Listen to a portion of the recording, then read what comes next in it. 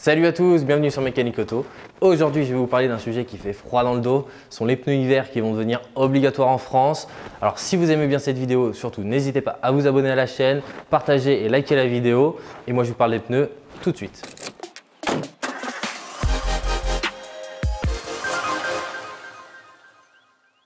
Alors, les pneus hiver, grand sujet, grand débat. Il y a pas mal de choses à dire. Déjà, qu'est-ce que c'est un pneu hiver euh, On a les vrais pneus hiver, on a maintenant les pneus 4 saisons, les cross climate. Je reviens un petit peu dans le passé. Euh, à partir de 2010, déjà en Allemagne, ça a été obligatoire sur une certaine saison, donc c'est-à-dire euh, mi-novembre jusqu'à mi-mars à peu près, voire fin mars, je crois, de mémoire. Ça a été obligatoire chez eux pour éviter les accidents, fluidifier le trafic, pour éviter. Bah, on a tous connu peut-être en Ile-de-France au moins une fois ces méga bouchons quand il y avait un demi centimètre de neige et qu'on était tous coincés parce qu'on n'avait pas de pneus hiver. Donc en Allemagne, ça a été euh, généralisé déjà depuis un bon moment. Maintenant, en France, on y vient. À partir de octobre 2021, ça va devenir obligatoire. Alors pas pour toute la France, je vous rassure, notamment pas l'île de France, hein, ça va pas être pris en compte. Il y a 48 départements, donc ça fait quand même pas mal de monde qui va être concerné sur ce sujet-là. Alors ça va être dans un premier temps les pneus hiver. Qu'est-ce que le pneu hiver vraiment? Là, je suis assis sur des pneus hiver. Il y a pneus hiver et pneus 4 saisons. Donc aujourd'hui, on retrouve les pneus 4 saisons avec le petit logo euh, MS.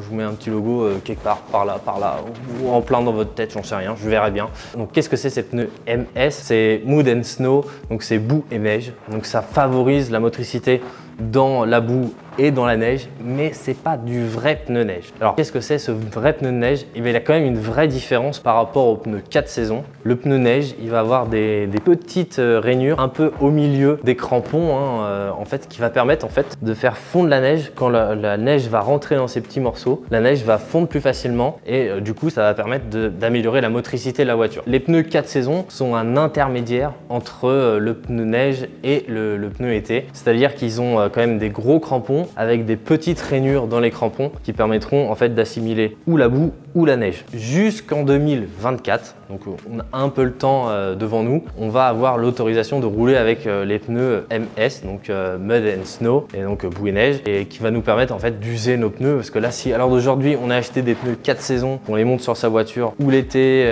on met les pneus été, et l'hiver on va mettre les pneus 4 saisons, ça, ça nous permet d'user les, pneus jusqu'à temps de changer pour rentrer dans la réglementation. D'ailleurs, ces pneus vraiment neige vont avoir une dénomination euh, réglementaire qui va s'appeler la 3P MSF qui va s'appeler la 3P MSF, un peu technique, mais du coup qui va être logotisé.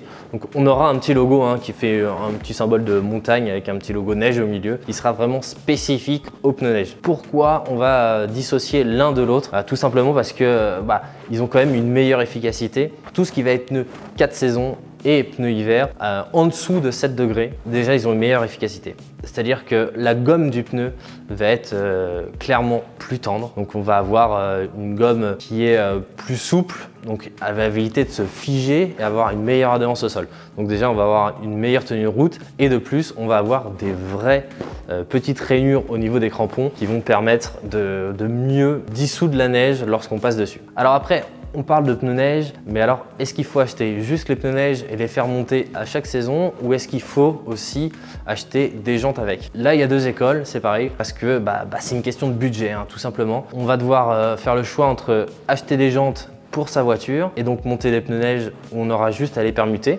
D'ailleurs, ça, c'est quelque chose que vous pourrez faire tout seul chez vous. Hein. Si les pneus sont déjà montés sur la jante, hein, là je suis assis sur des pneus qui sont déjà montés sur une jante, j'aurai juste à mettre un cric, enlever ma roue, mettre la nouvelle et basta.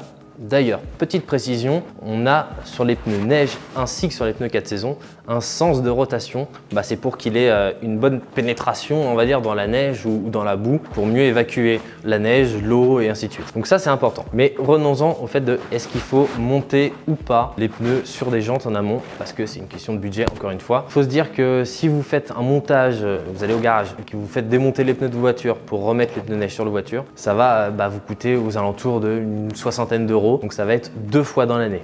Une fois en novembre lorsqu'il va falloir les démonter et une fois fin mars quand il va falloir remonter les pneus été. Alors qu'une paire de jantes, enfin une jante, ça va être aux alentours de 50 à 60 euros. Et sur environ 4 à 5 ans, ça va être vite amorti et surtout vous pourrez le faire tout seul à la maison. Donc vous ne serez pas obligé de prendre un rendez-vous garage vous pourrez le faire tranquillement à la maison à la période que vous voulez parce que peut-être qu'avec le réchauffement climatique, bah, les saisons évoluent un peu donc ça sera peut-être pas début novembre qui va commencer à faire très froid. Vous pourrez peut-être un peu repousser. On a toujours des imprévus hein, dans la vie donc c'est vrai que ça peut vous simplifier un peu la vie. Donc moi, personnellement, ce que je peux conseiller, c'est quand même d'acheter des jantes. Vous les avez à la maison et vous faites ça quand vous avez le temps. Par contre, bah forcément, il faudra le faire monter dans un garage la première fois pour que les pneus soient montés et équilibrés sur la jante. Ok, on résout maintenant le problème du montage des pneus, mais on se pose peut-être la question, est-ce qu'en montagne, juste mes pneus hiver vont suffire pour monter la montagne, pour partir au ski? Voilà, je pars au ski, euh, j'habite dans une autre région de la France, donc euh, je ne suis pas réglementé avec ces 48 départements qui vont être euh, en obligation d'avoir des pneus hiver. Donc est-ce que je vais devoir monter des pneus hiver pour pouvoir aller simplement au ski? Eh ben non, on n'a pas forcément besoin de pneus hiver pour pouvoir monter à la montagne. On va par contre avoir des obligations en fonction de la, météorologie, hein, tout simplement. S'il y a eu beaucoup de neige sur la montagne et que les routes sont très enneigées, on va peut-être vous bloquer en bas de la montagne pour vous obliger à mettre des chaînes. Même si vous avez des pneus neige, vous serez peut-être obligé quand même de mettre des chaînes pour pouvoir monter. Que les pneus neige c'est bien, mais au bout d'un moment, ça arrive à sa limite. Hein, on n'est pas quand même euh, dans un extrême d'adhérence, donc on va être quand même obligé de monter des chaînes. Alors tout simplement, comment le savoir? Euh, bah, Il y aura souvent des gendarmes qui seront en bas pour vous dire faut mettre les chaînes, il y aura des qui vous signalent. Il y a des panneaux comme hein, sur les autoroutes, hein, euh, quand on vous dit accident euh, dans tant de kilomètres. Il y aura sûrement marqué montée euh, en station, chaînage obligatoire. Donc voilà, ça vous le serez et ça sera forcément obligatoire. Donc peut-être il faudra avoir des jeux de chaîne si vous partez à la montagne. Concernant, parce qu'on parle de neige, euh, pneus toute saison et tout ça, peut-être que vous avez en tête aussi ces pneus cloutés. Vous avez peut-être déjà entendu parler de ça ou peut-être pas du tout. Qu'est-ce que c'est les pneus cloutés? Et eh bah les pneus cloutés, c'est des pneus qui, euh, en fait, dans les crampons, on a des petites pointes de métal qui viennent en fait euh, renforcer l'adhérence du pneu tout simplement pour avoir une meilleure motricité. Est-ce que c'est légal? Et eh bah malheureusement non. C'est ultra efficace sur la neige et sur le verglas, sauf que bah en France, malheureusement, bah, c'est interdit. Hein. Donc euh, déjà, même pour les commander, c'est une vraie galère. Alors il y a plein de pays où c'est autorisé. Hein. Euh, si on va dans les pays euh, plutôt, même européens, hein, plutôt nordiques, eh bah, c'est autorisé dans certains pays. Nous ici en France, c'est pas autorisé et c'est même plutôt déconseillé puisque on n'a quand même pas énormément de neige et que, bah, en fait, s'il n'y a pas beaucoup de neige, la route est quand même beaucoup moins bien et bah, tout simplement on abîme aussi les routes et du coup bah, on payera plus d'impôts parce qu'il faudra refaire les routes. Voilà.